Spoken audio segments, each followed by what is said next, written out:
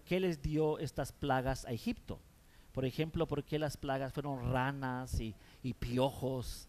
¿Qué tiene que ver eso con, sacar al pueblo de Israel de, de, Egipto? ¿Por qué no simplemente les mandó meteoritos, ¿verdad? O, algo más, un tsunami, ¿verdad?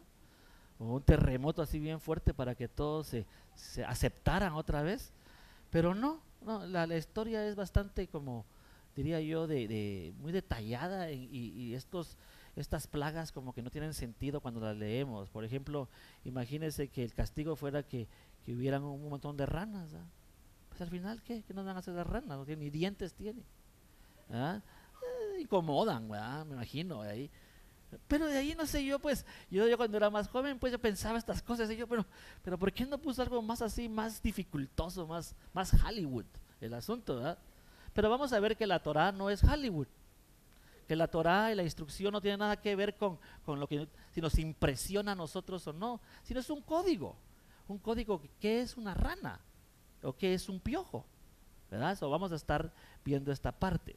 So, para comenzar, en el mundo hebreo, eh, lo importante es, es, lo que conocemos como los 32 caminos de sabiduría. Así le llamamos, 32 caminos de sabiduría que están divididos en dos partes, 22 letras y cada una de estas letras tiene una energía. Esta energía tiene un camino de sabiduría para nosotros, porque fue a través de su palabra, ¿sí? Pero la palabra junta, estas letras juntas, hacen parte de, de esa imagen y semejanza del rey. 22 letras. La letra principal de ellas es la que no habla, es la muda. Y esta se llama Aleph o Aleph. Y esta letra es usada en la antigüedad como vocal, porque en, en, las lenguas semitas no existen vocales en la antigüedad. Hoy en día ponemos puntitos para poder pronunciar la palabra, porque hay vocales a través de puntos. Pero en la antigüedad eh, en sí usábamos la letra Vav, que, es, que significa eh, como un brazo, y la palabra eh, y la letra Aleph, que significa también cabeza. Pero esas dos letras las usamos como vocales. Lo que quiero decir es que la Aleph es la mutación de todas las letras. Todas las letras caben en ella. Y ella cabe en todas ellas. Entonces es como decir, nosotros estamos en Él, pero Él también está en todos nosotros. Esa es la letra Aleph. Pero la Aleph, si usted la ha conocido, y si, bueno, eh, aquí no tengo para poner el pizarrón, pero la, la Aleph tiene, tiene un palito arriba y un palito abajo y un palito en medio. Los palitos de arriba y abajo son las letras Yod. Yod que vale 10. Y 10 tiene que ver con la comunidad, tiene que ver con el pueblo, tiene que ver con la, eh, le llamamos Keneset o la Cajal o la Kejilat, que quiere decir el grupo de personas, que es, a esto le llamamos uh, en sí a la letra Yod, 10. Por eso Rivka, cuando fueron a traerla, para ella ser digna de ser esposa de Isaac, que es representante del Mashiach, todos ellos son representantes del Mashiach, para que ella fuera digna tuvo que darle de tomar primero a todos los camellos. Y lo interesante de la historia eran que eran 10 camellos, porque realmente estaba hablando de la congregación y los camellos son animales bastante, diría yo, terribles. Hieden, ¿verdad? Muerden, escupen y patean. Como algunas personas que conozco yo a veces, que he visto en mi vida yo a través del tiempo, ¿verdad? Mas sin embargo, ella tenía que darle de tomar a los, a los camellos. Y son dragones ustedes. Con, con nada se sacian. Tengo una pregunta y tienen como 50 atrás todavía que quieren preguntar. Y ella viene y la sirve, lo sirve a los 10 camellos, ¿verdad? Hasta despeinada quedó la pobre. Pero al final de la historia, ella regresa a Isaac como montada en los camellos. Quiere decir que esta es una idea muy hebrea, que lo que se hace menos, el que se hace menos en este tiempo, será mayor en el otro tiempo porque esa es la forma en que el mundo espiritual es. Así que usted está cansado de servir, cansado de hacer.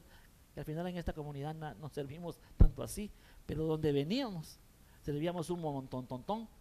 Entonces, ah, no es de cansarse, porque al final eh, necesitamos esos camellos para regresar a casa. Entonces necesitamos esta parte. Pero lo que quiero decir es que la yod vale 10, esa división es la 6, vale 6, y la otra yod vale 10, o es 26, que es el nombre del Eterno. Las familias que están en los cielos y las familias que están en la tierra. Diciendo eso, el número 10 es muy importante en el mundo de la Torah. ¿Por qué? Porque así como hay 22 letras, hay 10 emanaciones o 10 manifestaciones del rey. Estas 10 manifestaciones le llamamos Sefirot, que son los 10 frutos del árbol de la vida. Estos frutos, ¿verdad? Expresan la voluntad perfecta del Eterno. Estos 10 entonces tienen que ver con las 10 plagas de Egipto. Porque no fueron 12 plagas, no fueron 11 plagas, no fueron 9, sino 10. ¿Y 10 por qué? Porque cada plaga va a ir alcanzando para poder realmente matar al alma, en este caso. En otras palabras, las 10 plagas nos enseñan cómo el alma puede morir, cómo el alma puede ser destruida. Y usando los símbolos de la de los piojos y de las, de las úlceras y de las, de las ranas, todas estas, estas tienen que ver con cómo va el alma perdiendo su poder. Entonces vamos a verlas hoy. ¿Por qué?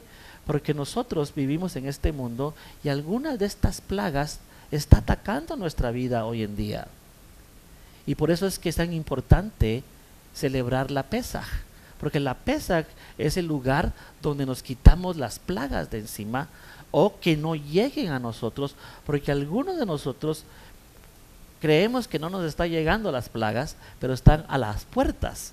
Y necesitamos entender esta parte. Y la Pesaj, que es esta fiesta, es una de las siete fiestas principales de los hebreos. ¿Y por qué esta es principal y esta mayor que todas? La razón que esta fiesta está antes que Moshe la diera en el Sinaí. Todas las demás están en el Sinaí, pero esta la dio él antes que fueran a ver a Yahweh, antes que fueran al Sinaí, ya se celebraba la Pesaj, tanto que en el tiempo de Sodoma y Gomorra se celebraba el pan sin levadura, que es parte de la Pesaj. ¿Se acuerda cuando los Malakim o los ángeles llegaron a ver a Lot? ¿Y qué les ofreció él cuando entró a su casa? les ofreció pan sin levadura, porque era en una pesaj que ellos fueron destruidos. La pesaj no es, una, no es una fiesta de rectificación, es una fiesta de destrucción. Pero las personas que comprenden cómo celebrar la fiesta son salteados. Y la palabra pesaj significa saltar en hebreo. Es que usted pueda quitarse estas diez plagas que vienen a todos nosotros, a todos. Porque el malak que trae las plagas no ve como nosotros. Él lo que no es tan correcto no tiene compasión de ellos. Aunque usted ha tenido 20 años de membresía, haya dado diezmos, ofrendas y su casa, no importa, porque las plagas nos caen a todos, a los buenos, bonitos y baratos, a todos. Entonces, por eso es que tenemos que entender celebrar esta fiesta. Por eso es que Abraham, cuando le pidió al Eterno que se habían 50 justos, ¿se acuerda? Le está diciendo es que por lo menos tenemos que llegar a los 50 días después de la Pesaj, que es para Shuvot. Él usó el 50 como decir, ¿quién va a ir a celebrar Shuvot si destruyes a todos en Sodoma y Gomorra? Pero él, pero se salvó uno, ¿verdad? Y su, y, alguno de su familia, y, es todo lo que se salvó. Y lo interesante es que en esa Pesaj sale Lot y sus hijas, y de ahí se forma lo que conocemos como los ah, moabitas. Los moabitas vienen de Lot y sus hijas. Y aunque fue algo terrible lo, lo, que sucedió con Lot y sus hijas, Yahweh siempre amó ese pueblo. Tanto que cuando Israel quiso pasar por ahí y, los quiso, y quiso, matar a los maobitas, Yahweh le dijo al pueblo de Israel, si tú los tocas, te mato a ti. Y Israel dijo, bueno, con él no me puedo meter, ¿verdad? Y entonces pasó. Eso fue en Sodoma y Gomorra, en una Pesaj. Y en una Pesaj también el pueblo de Israel salió de Egipto y formó Israel, porque solo eran tribus antes. Es en el desierto que se forman y llegan a ser lo que conocemos como Israel. Y en el caso de ellos, ¿verdad? Entrar a esa tierra prometida. esto es muy importante para nosotros los Nazarín. Es muy importante celebrar esta fiesta porque no queremos que nos caigan las plagas y queremos llegar a la tierra prometida. So, veamos qué son estas plagas. ¿Qué le parece a usted? ¿Está bien?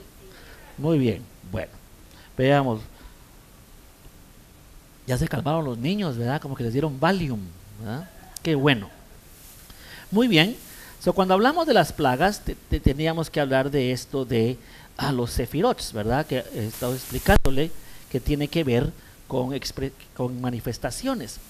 So, yo quiero primero que entendamos algo. El árbol de la vida, que es este sefirot, que quizá lo puede ver acá, si lo, voy a alcanzar, ese árbol tiene dos caras. Tiene una cara que es de luz y una cara que es de tinieblas.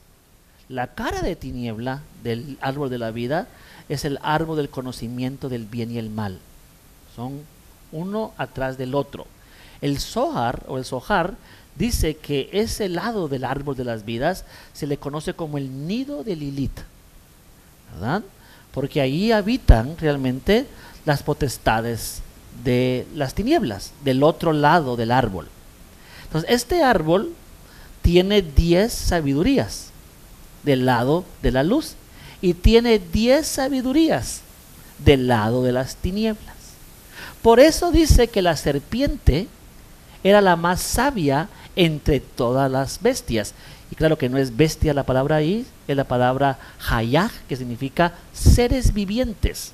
So, la serpiente era la más, más inteligente o, o sabia de todos los seres vivientes que estaban ahí. Pero su sabiduría es una sabiduría de las tinieblas. So, no hay que confundir, porque las tinieblas tienen también sabiduría y hay mucha sabiduría en todas partes. Pero eso no quiere decir que sea una sabiduría completa y kadosh o kosher. Está contaminada. Y cuando está contaminada, te dice la mitad bien y la otra mitad no está bien. Porque esa es la verdadera mentira. La mentira solo es mentira cuando la hacemos verdad. Si la mentira la dejáramos mentira, fuera fantasía. Ni Mickey Mouse nos va a afectar a nosotros, nunca nos ha afectado. No estamos en la casa pensando, ¿y si Mickey Mouse existiera ustedes? ¿Verdad? Que fuera de nosotros. No, porque es totalmente fantasía. Pero una mentira que trae verdad es la que nos puede matar. Quiero decirle que Egipto tenía también los 10 manifestaciones de la sabiduría del árbol que está en la oscuridad. E Israel en Moshe traía las diez sabidurías del lado de la luz. Y este es el encuentro de dos países que al final son dos identidades. Porque a los dos el Eterno le llama mi hijo. Él le llama a Egipto mi primogénito. Y también le llama a Israel mi primogénito. Bueno, entonces, ¿cómo está? ¿Cuántos primogénitos tiene? Pero es la misma idea de la historia de Abraham. Dice que el Eterno le dijo a Abraham, Abraham, Abraham, dame tu único hijo. Y Abraham dijo, pero tengo dos, Ismael e Isaac. Y entonces le dijo, tengo dos, le dijo, no, tu único, le dijo. Ya te dije que tengo dos, no el mío, le dijo. El que viene de la luz, del lado del Sof, del Sof Ur ese de la luz, ese es el hijo que quiero usar ahorita, porque al otro hijo también lo voy a usar, pero no ahorita, porque al final el Eterno usa a todos. Por eso no podemos juzgar nada a nadie, porque el malo está en la tierra para el día malo. Si no hubieran malos, en ese día no hubieran día, porque no hay nadie que lo celebre. Es para los malos. ¿Así dice o no es? Así dice. Dice, yo hice el día malo para el malo. Entonces los malos tienen su lugar.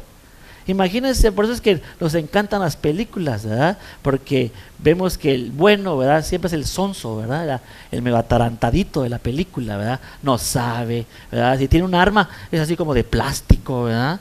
Cambio los malos con bazucas y, toda la cosa, ¿verdad? Porque como que el mal son como más inteligentes. ¿No se le hace usted así eso? Que los malos como que son más astutos. Bueno, Yahshua así decía, decía, los hijos de tinieblas son más astutos que los hijos de la luz. A ver, ¿cuántos hijos de la luz hay aquí? Atarantaditos todos. Ah, muy bien. Está bien, está bien. Pero de la luz, ¿ah? Atarantados por la luz y no, no, no inteligentes, malvados. Debe decir, Hitler, Nerón, el César, todos estos no eran gente tonta. A veces uno critica a los, a los líderes, ah, ese presidente tonto, el tonto es usted. Porque ese llegó ahí matando, haciendo y volviendo para llegar ahí, como malvado que era, llegó. Si no, no llega. Cuando usted quiere, usted no. Usted, pero ni supervisor de, la, de su compañía suya misma que tiene usted, llega a ser. ¿Ah? Porque el bueno, bueno, el bueno eh, está en otro lado. Pero Yeshua dice, ustedes que son de la luz, sean astutos como la serpiente. ¿O no dice así? Entonces, tenemos que ver esto, porque las plagas tienen que ver ese ataque de estas, de estas diez coronas. Coronas de tinieblas y coronas de la luz. Ok, so, veamos entonces un poquito qué son estas coronas y vamos a ver cómo vemos esto. So, vamos a ir, a, déjenme ver aquí el verso para que lo podamos leer. Eh, vamos a ir a Éxodos 1.10 o Shemot. La palabra en hebreo es Shemot, que significa nombres. So, veamos qué significan estas diez plagas y cómo nos atacan a nosotros estas plagas. Bien, lo leemos así en, voz alta, con voz de Saer, Arcángel. Uno de ustedes dos de Culiacán. Ah, no, son allá atrás, está de Culiacán. Aguascalientes. Tomemos precauciones contra él para que no siga multiplicándose. Okay. No vaya, no vaya a suceder que si estalla una guerra, se una a nuestros enemigos para luchar contra nosotros y escapar del país. So, las diez coronas tienen un solo sentido, que usted no entienda quién es usted. Que no sepa que usted es más fuerte que el que lo está mandando a usted. Eso no quiere las tinieblas que usted sepa. Y estas diez coronas están hechas para que usted se mantenga siempre en la ignorancia. Israel era mucho más fuerte. Los muchachos que nacían eran más grandes eran más saludables que los de Egipto. Y ellos se dieron cuenta, ¿no yo? Se dieron cuenta. Y dijo, tenemos que hacer algo. Tenemos que outsmart them, que, vamos a ser más inteligentes que ellos y los vamos a mantener siempre en las tinieblas.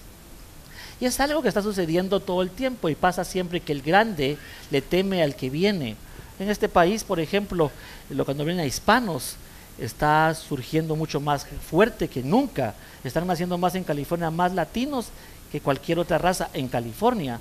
Somos, somos los más fuertes, pero seguimos siendo lo menos en todo, menos en la educación, menos en paga, menos en nada. Pero todos estamos contentos con el 825. Porque el faraón, que significa la garganta, nos sigue tragando todo el tiempo y todos, amén, amén. ¿verdad? ¿Cuántos ladrillos quiere? Me va a pagar, qué bueno. Ocho le pongo. Y hasta lo canto usted ahí. ¿Por qué? Porque estamos, estamos como dormidos. Pero la comunidad latina tiene mucha plata. Yo siempre, eh, cuando me hablan de México, a mí dicen, es que México está aquí, está mal, México allá, pero hay más dinero en México que aquí. ¿Me oyó? Y no pareciera, ¿verdad? Está México y la cosa está como terribles, pero México tiene todo, aceite, todo lo tiene. El hombre más rico de, del mundo, ¿qué es? Mexicano. Bueno, judío, pero mexicano. Al final hay más judíos en México que en cualquier parte del mundo. Solamente Israel tiene más. Pero no parece, ¿verdad? Parece como que México para abajo. Usted, usted habla a la gente y siempre igual. Que no sé qué, que, el gobierno. Pero esa es la, idea del faraón y de las diez coronas de sabiduría del, mal. Son sabios. Eso hay que entender esta parte. So, veamos cuáles son estos diez sabios, ¿verdad? Ah, uno es el pasar en la sabiduría del mal, es pasar a los hijos o a las hijas entre, entre el fuego, es el número uno. Es pasar a, a los hijos, ¿verdad? Y a las hijas a través del fuego. Y esto tiene que ver con la ira.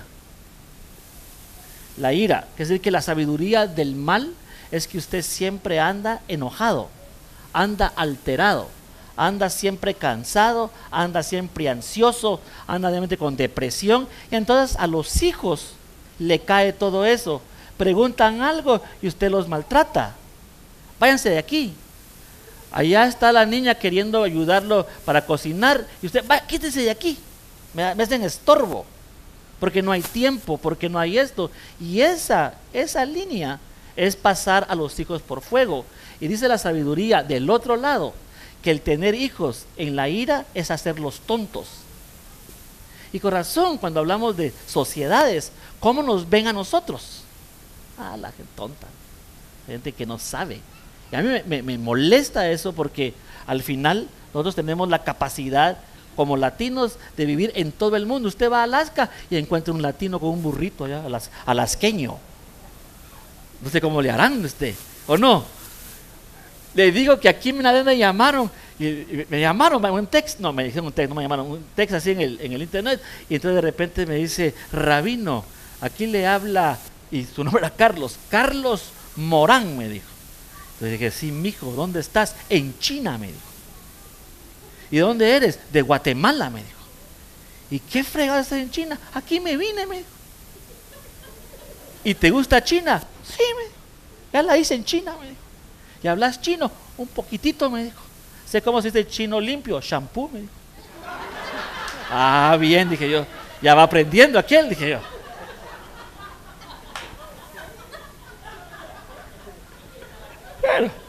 Algo así es el. Yo no sé chino. Pero decía que usted pensó que le iba a decir yo algo así, ¿verdad? Dice, wow, ¿cómo sabe chino?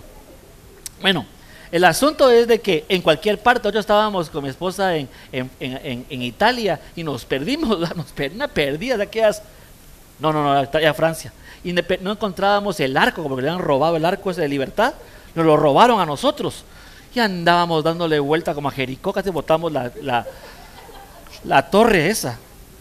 Y entonces en una de esas nadie nos quería ayudar a usted, nadie. Y mi esposa hablaba francés, no voy a hablar de eso ahorita porque... Pero, y entonces estábamos que tratando de ver cómo le hacíamos y todo. De repente yo buscando a alguien y todos se ven ahí pálidos, como que son vampiros ahí, todos franceses, ¿no? Y de repente vi uno con colorcito, dije, este debe ser, le digo yo, y le hablé eh, primero en español, y me ¿y habla español? Sí, me dijo. Ah, mire que estoy perdido, y nos dijo, ¿y usted dónde es? De Colombia, me dijo. ¿Y qué hace hasta aquí? Aquí me vine a trabajar. ¿Y qué hace? Lo mismo que todos, cocina. es un colombiano que cocinaba en un, en, un, en un restaurante chino en Francia. Esos somos los latinos. En cualquier parte, donde sea, podemos hacer vida nosotros. Eso es algo que tenemos nosotros. No todos pueden hacer esto. No todas las razas pueden hacer eso, señores. Nosotros en cualquier parte podemos poner el sucursal creíble, no. otra vez, entonces cuando hablamos de pasar por fuego, tenemos que tener el problema de esto de la ira, ¿ok? La ira no es, es, la sabiduría del mal. No podemos vivir en la ira. Tengo una persona que, que viene a terapias y entonces me preguntó y me dijo, mire, doctor, me dijo, yo quisiera, yo oigo en YouTube sus enseñanzas, pero yo oí que eran 613 mandamientos, me dijo yo, no creo que pueda hacer tantos. Así sincera, ¿verdad? No puedo hacer. A mí en, el católico me dan 10 y de los 10, pues, unos 3 quizás, en vez en cuando, ¿verdad? Sincera, ¿va? Dígame algo, me dijo, para que pueda comenzar yo a vivir una vida espiritual. Entonces, pues ni modo, nosotros los nazarenos rápidamente decimos tres son los importantes. ¿verdad? Uno es honrar padre y madre, el otro es hacer Shabbat, ¿verdad? entrar en un estado de paz eh, en el viernes de la noche al, sábado en la tarde en paz. Y tercero, eh, es comer bien kosher, ¿verdad? Comer, comer lo que está en, en, la Torah, en la instrucción. Y eso le dije yo va a ser tu, va a ser tu, tu, mejoramiento. Y entonces se fue, ¿va? y como a dos semanas vino a su terapia de nuevo y venía contenta. Me dijo, mire, me dijo, fui a hacer lo que me dijo. Primero, eh, como a las 5 de la tarde me acordé que no he visto a mi mamá por no sé cuántos semanas o meses, me dijo, y, fui a dejarle una plata a mi mamá y llegué y mi mamá me dijo, mija, no me des plata si tú eres la fregada. Sí, mamá, pero tengo que honrarla, así me dijeron. Así que aquí le dejo la plata y la mamá lo, lo, la, la, abrazó, le dijo, mira, ¿por qué no invitas a toda tu familia que venga a la noche y comemos juntos? Entonces ella dijo, buenísimo, entonces fue a la casa y dijo que a los muchachos que se prepararan para, mucho gusto, para que preparara para, para, para poder irse a la fiesta. Entonces él fue, ¿va? Se fue, se fue ella y cuando llegó a su casa, eh, los muchachos no habían hecho nada, no habían hecho ni la cama y tenían como una semana no hacer la ropa. Bueno, era un relajo. Y ella parece ser una persona que grita por lo que yo puedo percibir en las terapias, ¿verdad? Y entonces se paró, dice, se paró ahí en la, en, la, en la puerta y los tres, cinco muchachos tiene, viéndola, ¿verdad? Porque aquí venía la gritadera del momento, ¿verdad? Y dijo, caramba, son las seis de la tarde, es Shabbat, ya no puedo gritar, ¿verdad? Y ahora, ¿qué hago? Decía ella, ¿verdad? Y los muchachos viéndola, ¿verdad? Entonces digo, muchachos, por favor, tráiganme toda su ropa, los voy a honrar. Y todos los muchachos le quedaron viendo. Y entonces metió toda la ropa en las canastas, cada quien con su canasta. Y ella comenzó a cargar la canasta hacia el primer piso. Y el primer muchacho se le acercó y le dijo, mamá, le ayudo.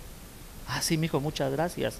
Y entonces, callado el muchacho, llegaron y comenzó a meter la ropa en, en las máquinas y entonces el muchacho se le, ella se volteó y le dijo, mi hijo, muchas gracias, le dijo, por ser mi hijo. Gracias porque estás vivo. Y gracias por ayudarme por la canasta. Y el muchacho le quedó bien y dijo, mamá, está bien. Se murió alguien, le dijo. Y me dijo, no puedo creer que no podía creer él. Eso, que yo, que yo, él me ve como alguien reactivo, alguien con ira. Y entonces lavé la ropa de todos. Esa fue la honra que les di. Y nos fuimos a comer carne asada con mi, con mi mamá y la pasamos bien, me dijo. Ahora entiendo que ese mandamiento puede cambiar mi vida. Y eso es exactamente lo que, lo que la sabiduría del Eterno es. No son liturgias, no es venir en un cuadro de personas simplemente a cantar y adorar. Es un estado de vida, es un estado de forma de, de hacer lo opuesto de lo que usted está pues acostumbrado y adicto a, y está adicto a la ira al alegar, al, discutir. Y esto es pasar el, el, fuego a nuestros hijos. Eso se llama, la deidad que viene de ahí se llama Moloch. Moloch. Y era de hierro. Y ponían las manos así eh, de, la deidad y, la, y, le ponían leña y lo calentaban y sacrificaban a sus hijos en, en, ese, en ese fuego de bebés. Y por eso que ese lugar donde los israelitas hicieron barbaridades como esta, se le llamó Ginom, donde viene la palabra Jena, que es lo que el Mashiach dice, que, eh, que, lo, que, lo, traducimos infierno, pero no es infierno, sino la idea de quemar a alguien. Entonces en, el, en Jeremías, Jeremías eh, amonestando, amonestando a Israel, le dice, pero Israel, ¿Cuándo me has visto a mí? Ni en mi cabeza ha pasado yo quemar a ninguno de mis hijos. Y por eso es que los nazarín decimos infierno, por favor. ¿Cómo? Si el, si, el, si el, ser nunca le ha pasado por la cabeza esas cosas, ¿a quién le pasó? A lo de la sabiduría del otro lado. Y nos mantiene en ira, y nos mantiene en, esa, en, ese, en esas ansiedades no existe. Segundo, es usar la adivinación, el adivinar, el adivinar, que es la segunda, la segunda corona de poder de sabiduría de estas plagas. Y adivinar significa alguien que no sabe qué hacer. Cuando usted no sabe qué hacer, trata de adivinar. Trata de, decir, bueno, Tim Marín de Dios Pingüe, Cucaramácara Títere fue. Yo no fui, fue Tete. Llévala, llévala al quien fue. A ti te toca. Y así es, vivimos la vida. Vivimos una vida de adivinación. La adivinación es abominación al eterno. ¿Por qué? Porque enseña, le expresa la inseguridad y la incertidumbre y la falta de conocimiento de qué tenemos que hacer en la vida. Y esa corona nos mantiene siempre abajo. El no saber qué hacer. Usted debe saber qué hacer, no adivinar. Pero ahí es adivinación. Y están los encantadores.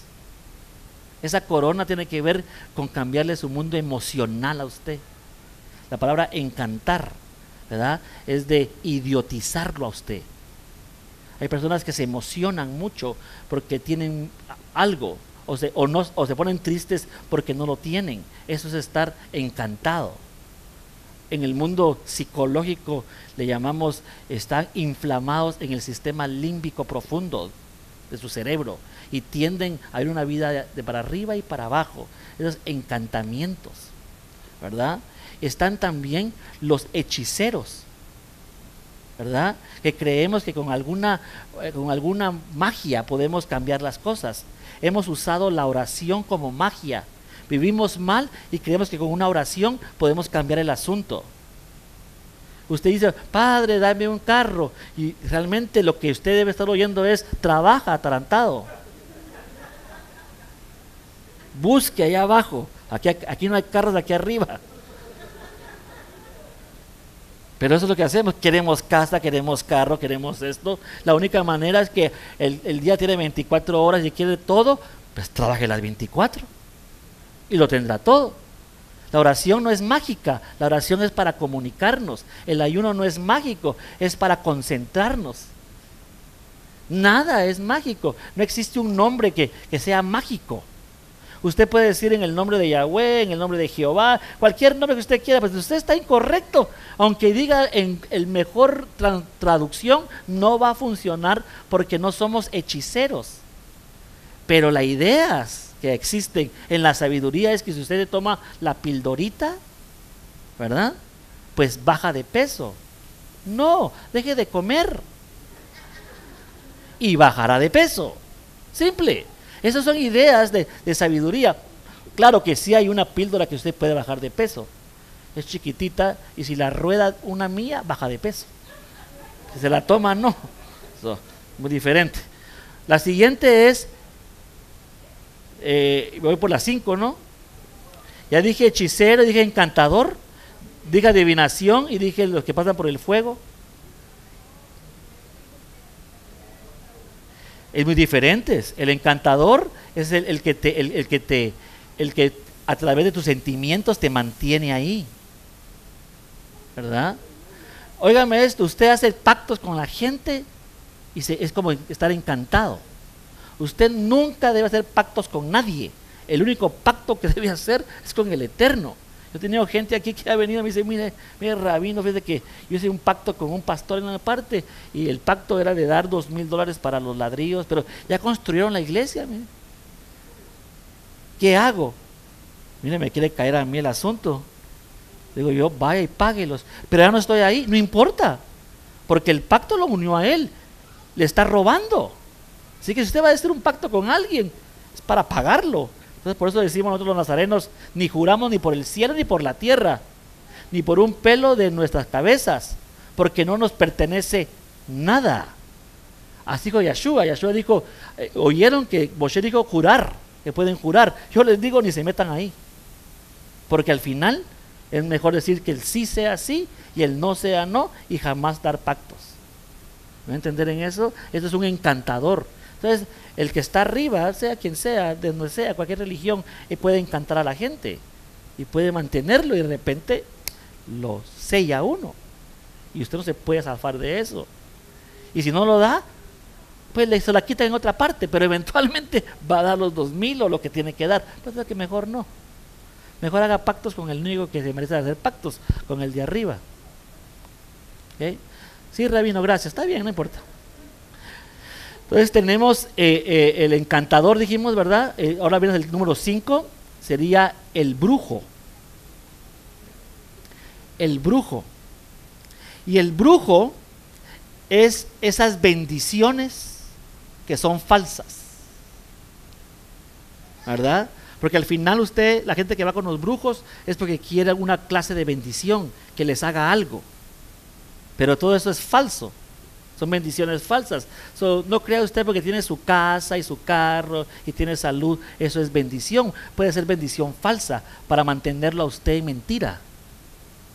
Para tenerlo, mantenerlo a usted que todo está bien cuando todo está mal. Porque no es esas las bendiciones del Eterno. Porque si fuera así, todos los buenos tuviéramos casas, carros y hasta jets. Pero no es así, ¿verdad, señores? Que los justos también tienen que trabajar durísimo para recibir lo suyo. Y así con esto, a veces no lo reciben. Porque para la verajot, pues la palabra bruji, bruji, que es de brujo, brujo significa dichoso. Significa bendición completo. Significa madurez. Entonces, ni modo, si usted va con un brujo, lo que está esperando es esa bendición, pero es una bendición falsa, porque solo lo va a cegar. Dice el libro de Oseas que Israel adoraba a los ídolos y los ídolos les daban los milagros. Imagínense eso. Ahí está en Oseas. Y entonces dice que Yahweh le dijo a Oseas, diles, diles, ¿por qué los ídolos hacen esto? ¿Por qué y Yahweh le dijo a Oseas, diles porque soy yo, atrás de los ídolos, los que estoy cumpliéndole lo que ellos quieren, para que se cieguen, para que se acaben. No hay nada peor, señores, que creer que estar bien y no estarlo. Imagínense que usted tiene un catarrito, un catarro, nada, nada serio. Pero como no lo puede sentir, no está mocoso, no, no le duele el cuerpo, no hay fiebre, entonces usted como Tarzán allá afuera, sigue. De repente le cae pulmonía, pero no siente nada todavía, porque no, no sabe que tiene pulmonía, porque no hay, no hay nada afuera que lo, que lo manifieste. Y usted sigue destapándose y viviendo. De repente le da una broncomonía, le cae agua en, en los pulmones y se muere. Y todo el tiempo pensó que estaba bien. Por eso es que agradecemos que cuando hay un catarro, sepa yo que tengo un catarro y debo cuidarme más. ¿O no? Estos son los brujos. Los brujos no permiten que la gente pase su sufrimiento. Es que me dejó. Venga para acá. Esta, mire, con este botecito va a regresar el cuate. Porque no quiere pasar su sufrimiento usted. Y si lo sube para arriba y para abajo y le pega con la botella, regresa. Amén, dice usted. Otra vez, eso, eh, eh, eh, la brujería otra vez funciona, funciona para cegarlo. Estas palabras, se cumplen las cosas, pero no para ayudarlo, sino para empeorarlo. Eso es las coronas de esta parte. El siguiente es el mediador, los mediums que le llaman, los mediadores. Estos son cuates que dicen, y mire, yo lo que no entiendo es esto, porque cuando hablamos de espiritistas, ¿verdad? Todos aquí estamos claros, animó que nos sentemos en una mesa y busquemos a tío Gerundio en el infierno. Regresa, ¿verdad? Yo sé que todos aquí entendemos que esas cosas no lo hacemos, pero hacemos casos similares. ¿Verdad? Decís, fíjese que Dios me habló y me dijo que le dijera a usted. Ah, sí, ¿usted es mediador o qué? Porque si, si Él quiere hablarme a mí, pues debería hablarme a mí, ¿no? ¿Por qué le habla a usted? Chismosito el asunto, ¿ah? No, no, no, no, no, no. Y entonces vuelve esto de mediums. Y ahí yo conozco lugares de usted donde son tres o cuatro que controlan todas las comunidades. Se levantan a cada ratito, así dice el Señor. ¿Verdad? Feliz año. ¿verdad? Y todo el mundo, pues ni modo. Si en público le dicen a uno las cosas, imagínese tú, ¿verdad? de la gorrita. Sí, tú, el que, te la tocaste, ni modo, la fregan a uno. Pero eso sería un mediador, sí, no, tiene que ser un, espiritista, porque eso sería como lógico para nosotros estar hablando con muertos. Pero lo hacemos a través de otras personas y caemos en los... Y al final, oiga esto, acaba de venirme un caso, estos dos, por no decir otra palabra, eh, estaban unidos, no sé esta palabra que usan ahora, unidos, con cinco hijos y 20 años de, de estar unidos, usted, casados. No había papel, pero ¿y qué? ¿Qué más papel que cinco marimbitas ahí? Con casa y todo juntos. Y de repente la persona, la muchacha, sus papás se hicieron ciudadanos, entonces querían que eh, estaban arreglando los papeles. Imagínense esto. Pero si se casaba con él, pues perdía ella la opción porque ahora ya no era parte de la familia. ¿Y qué hizo? Se casaron. Porque la comunidad, alguien dijo, así es el Señor, los que están en adulterio, los de atrás. Solo ellos dos estaban atrás. Cásense. Imagínense qué, irrespeto a, la vida. Y se casan y ahora están mojados, pues no del espíritu. Y siguen mojados, Señor. ¿Y la otra persona qué? Ciudadana del infierno, digo yo. ¿Por qué? Porque los mediadores no, no deberían, usted tiene que aprender a oír la voz de él. No confía en nadie. Haga como dice, como le dijo David a Shlomo. ¿Qué le dijo? Antes de morir, vení para acá. no confíes ni en los profetas ni en los sacerdotes. Conéctate a la luz y que la luz te diga, amigo. Yo le digo a usted, no crea en nadie. No confíe en nadie de esa manera. Recíbalo todo. Lo que es para usted y rechace lo que no es para usted. Y lo que no entiende, pues póngalo aparte. Pero al final que la decisión que usted haga sea usted. Usted. Porque al final es usted. Yo le decía a mi hijo un día, y la gente me malentiende, pero yo le digo a mi hijo, mire mi hijo, si va a pecar, que sea usted el que quiso pecar y no lo forzaron a pecar. Porque si pecó usted porque usted quería, pues bueno, va a pagar la suya. Pero la gozó, digo yo, porque usted quería. Pero si otro lo forzó a usted a pecar, no solo le va a caer la viga, y al final ni usted quería, que es la mayoría de nosotros. Tenemos que decidir por nosotros mismos. So, este Miriam no, no es muy bueno, ¿verdad? Eh, y, hay, unos tres más de, esto que los voy a dejar acá que les voy a decir después de, la, de, las plagas, porque no lo vamos a entender estos tres que son diferentes coronas, muy más, mucho más altas. estas son las comunes, estas, estas seis les di, ¿verdad? Seis de Ok, so, me da un poquito de qué tiempo tenemos. Ah, me quedan diez minutos. ¿Está bien? ¿Me dan diez minutos más? Ok. en diez minutos voy a dar diez plagas. No, no. Uno por minuto.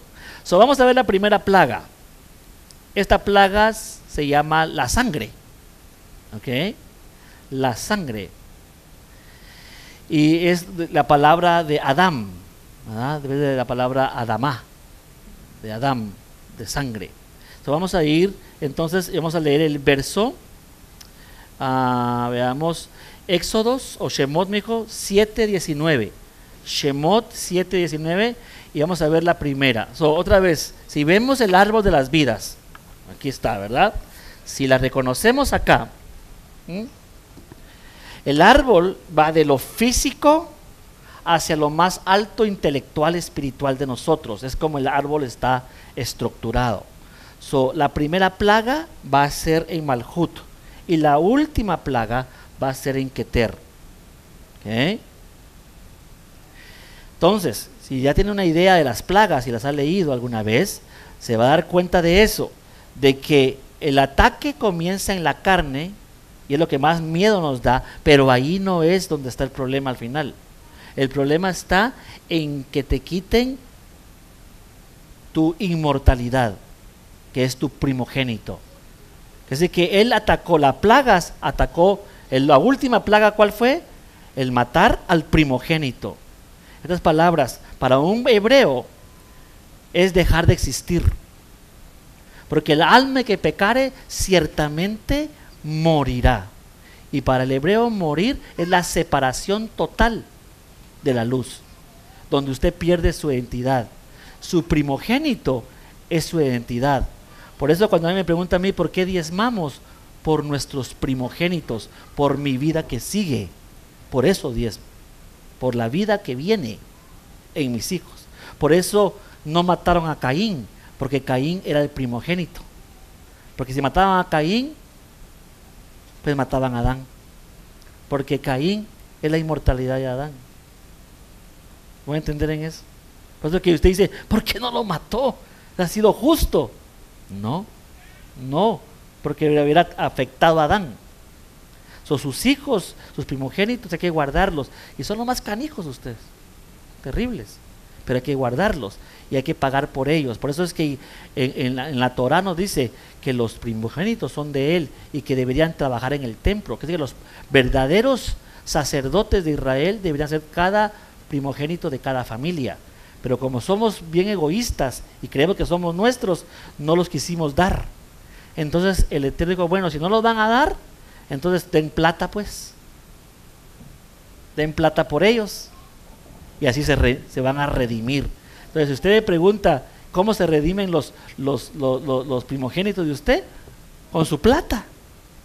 Lógico que es el diezmo, sí, la, el maasín. Y por eso es que cuando hablamos de esta fiesta, esta fiesta es de proteger a quién? Al primogénito. Quiere decir que si yo no era primogénito, esa plaga última no me cae a mí. ¿Verdad que no?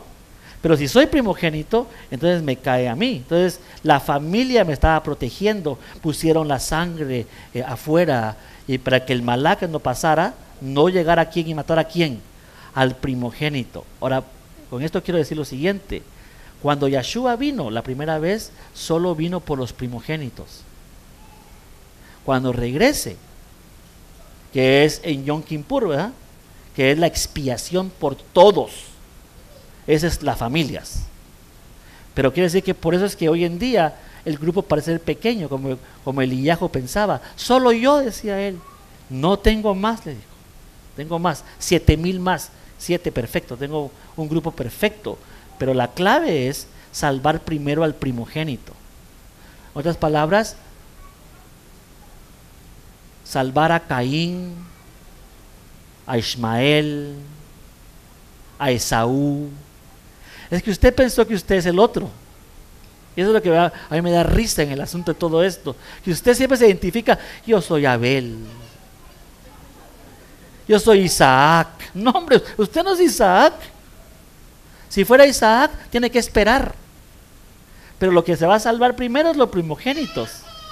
Son otras palabras, la gente más malvada de la tierra son los que está salvando primero. Por eso es que no podemos juzgar nosotros. Por eso mismo, porque nosotros tenemos mucho más que todos. ¿Ok? Sí, e-, ese es primogénito. Ok. Ya me entendió en esa, ¿verdad? Ok, sigamos aquí un poquito, entonces vamos a ver lo que es la sangre, porque la sangre tiene que ver con el mundo físico, ¿ok? Veamos qué dice el verso y vemos entonces la primera plaga.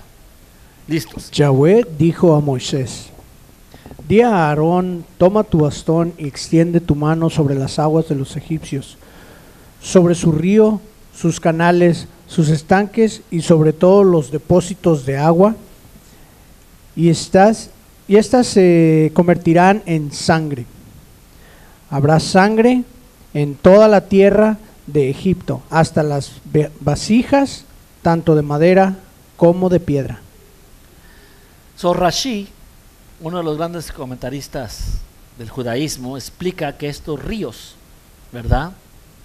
Son los ríos de nosotros mismos que cuando la primera plaga llega a nosotros, tiene que ver con nuestra sangre nuestra, con lo que la personalidad de nosotros. ¿okay? Por eso es que eh, dichos como, eh, ¿qué sangrón es ese? ¿Verdad? Eh, yo cuando vine a este país, pues eso es mexicano, eso de Guatemala no decimos así, en Guatemala decimos, qué pesado es alguien. Pesado decimos nosotros, pero es pesado de la sangre.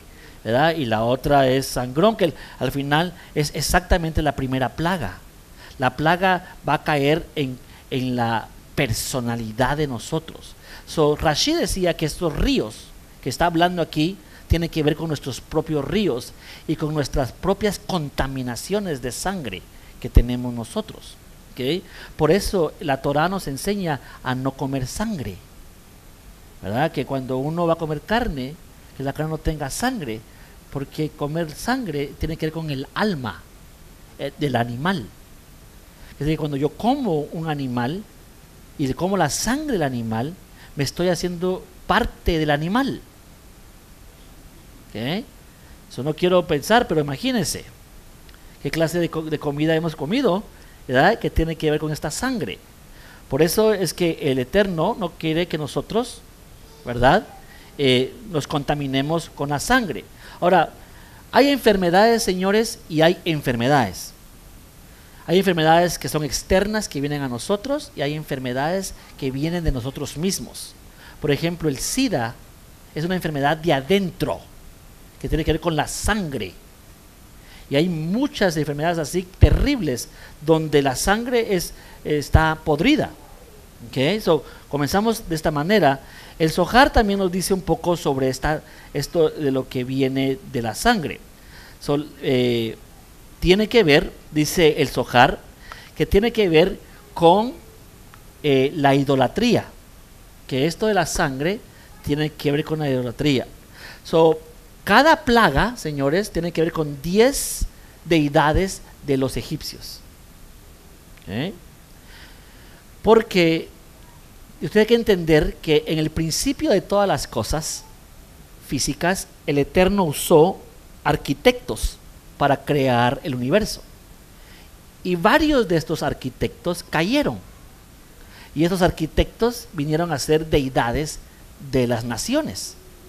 Así dice Jeremías. Dice Jeremías, en cada nación hay una estrella, hay una deidad que es posesiona a las naciones.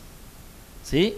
Entonces estas plagas primero va a atacar a la deidad y después de atacar a la deidad ataca a la nación. ¿okay? So ataca primero en la sangre, ataca en lo que usted confía físicamente, que es su deidad a veces de uno.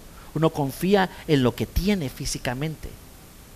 O confía en la sangre que lo que tiene, que son sus hijos. Y la primera plaga es, quitarle ese poder a usted. So, cuando hablamos, dice el Sojar, que tiene que ver con esto. Y, si vamos al verso 10, andate, mi hijo, a, a, Éxodo 12, 19. Y vamos a leer esta parte, cuando habla de estos ídolos.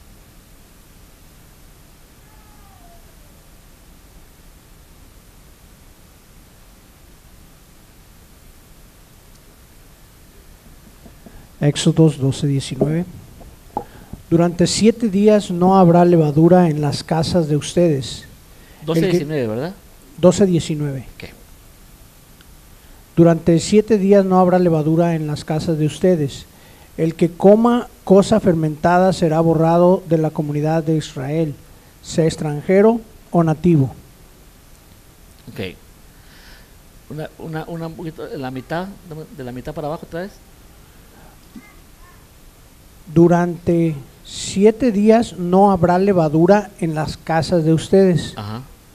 El que coma cosa fermentada será borrado de la comunidad de Israel. Ok. So, lo que está diciendo es que la primera plaga es no, es poder quitarnos la contaminación que tenemos.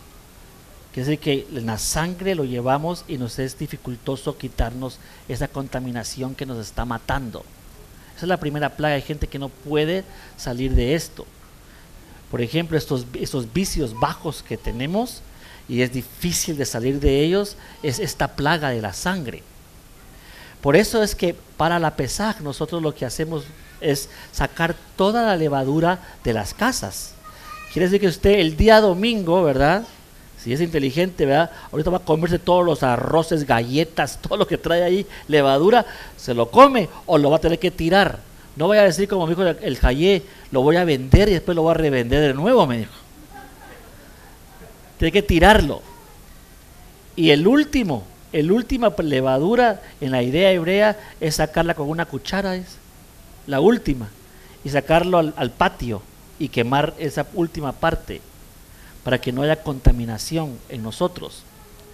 La primera, eh, la primera plaga es no poder dejar de no contaminarnos.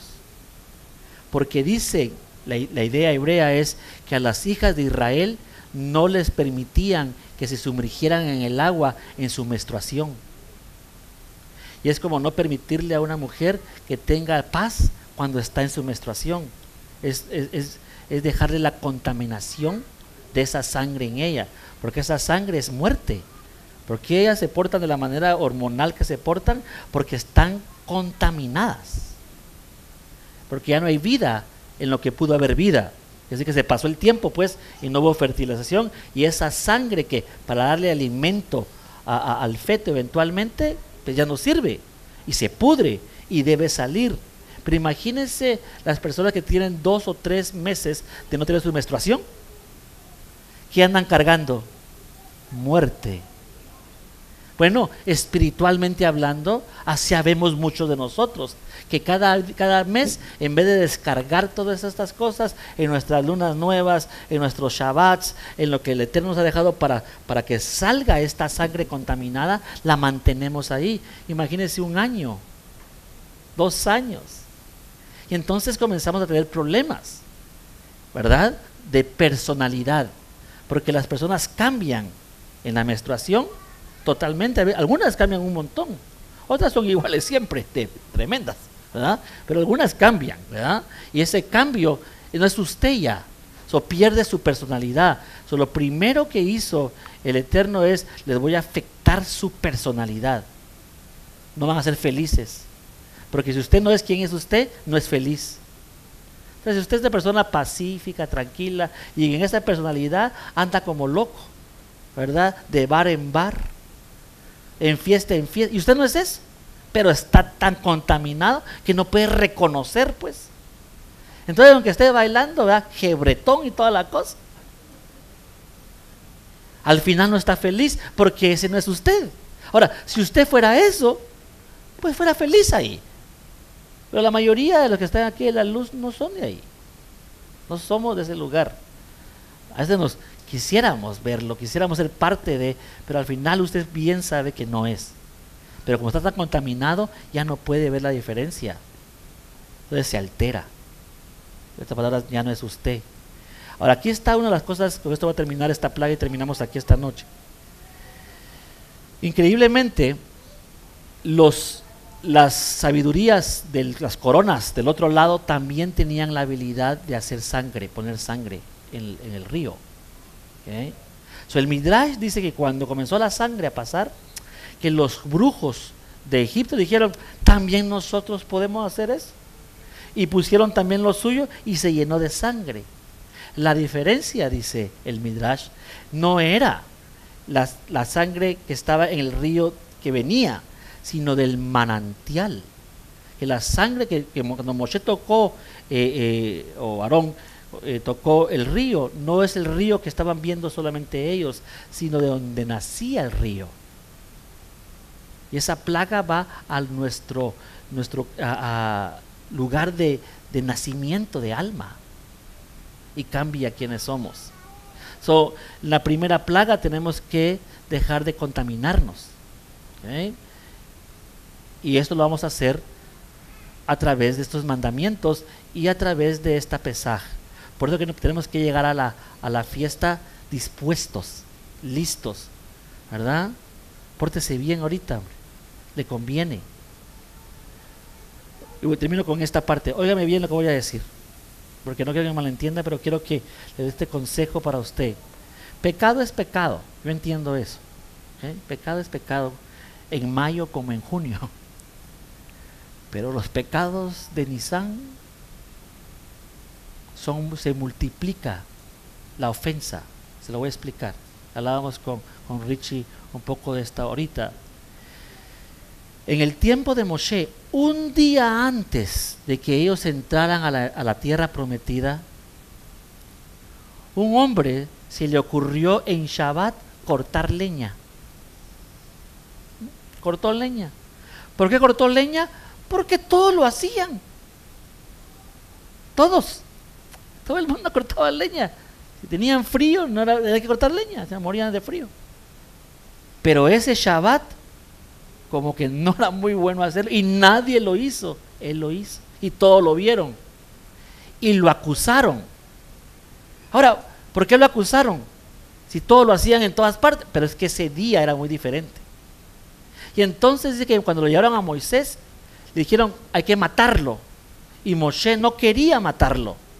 Y Moshe dijo, ¿saben qué? Voy a preguntarle al Eterno qué me dice él. Y entonces entra a su, a su casa de campaña y le ora al Eterno y le dice, ¿qué hago?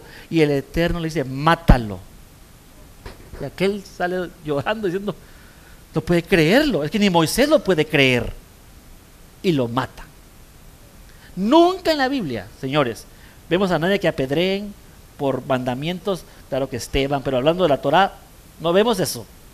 Nada de eso vemos. Dice que lo, lo hacían, que se tenía que hacer, pero no lo vemos. Pero en esta vez vimos que el mismo Eterno dijo, mátenlo. Ok. Esto fue un Shabbat. Pero imagínese usted y yo que quebramos el Shabbat a cada ratito. Era para que nos estuvieran también muertos. ¿Y por qué usted no? Ahora le voy a contar uno en el Nuevo Testamento, en el Brija Gadasha. El, el pueblo, los nazarenos, estaban a punto de tomar Jerusalén total. Y estaban listos para tomar el reino. Estaban fuertísimos. Y entonces llegó una pareja ofreciendo dinero de unas tierras, ¿se acuerda? ¿Cómo se llamaban? Ananías y quién? Zafira. Por la historia. Y entonces ellos van y venden sus cosas, ¿verdad? Cosas que eran de ellos, que ellos ofrecieron. Al final no era como que les estaban pidiendo, ellos lo ofrecieron. Y en la mitad de la, transición se les ocurre cambiar de opinión y decir, en vez de darlo todo, vamos a dar la mitad. Si usted me dijera a mí, mire, mire, rabino, vamos a vender una casa, pues, le queremos dar a la congregación, muchas gracias. Y regresa y dice, mira, mire, mire, decidimos que solo la mitad, ¿qué le diría yo? Muchas gracias. Al final es su casa, ¿no? Y esa es la historia. Y de repente llegan ahí, y la primera llega, y Jefa le dice, porque has mentido contra el Raúl Kodesh, y ahí cae. Y mientras él cae, primero es el cae él y lo están sacando a él, viene la otra, dice lo mismo y cae. Pero ¿cuántos de nosotros no hemos mentido así? ¿Y por qué no están ustedes caídos? ¿O yo? Porque hay tiempos donde el pecado arrasa. Y cuando vemos las dos historias, lo único similar que tienen es que Israel estaba un día de entrar a la tierra prometida y los nazarenos estaban a punto de tomar Israel. So, ahorita para nosotros es muy importante no hacer estas cosas. No que después de hacer va a pecar, pero le estoy enseñando una idea muy importante. Es peligroso, este tiempo es muy peligroso, pues. Entonces, tranquilos, hombre, tranquilitos. Y tratemos de no estar eh, eh, cerca de, las tinieblas para llegar a la pesaj, porque si no condenación estamos comiendo, decía Shaul Catán, ¿sí o no? Por eso es que es importante llegar a esta manera, porque en un día de estos, en una de estas fiestas, se va a abrir la puerta y entonces el reino vendrá. No sabemos, puede ser este 16, con tanto terremoto, quizás sea, nos ponen el reino en terremoto usted. ¿Por qué no? No sabemos, pero sabemos que es en una fiesta. Entonces, en la fiesta todo el mundo tranquilos, todo el mundo rectos. ¿De acuerdo? Ok, damos un aplauso al Eterno por la Torah y vamos así entonces. Vamos a levantar nuestras terumás de, de plata y nuestros maasín de esta noche.